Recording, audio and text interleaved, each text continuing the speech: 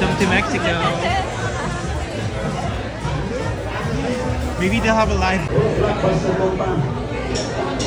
You ready to eat? Welcome to America and Mexico.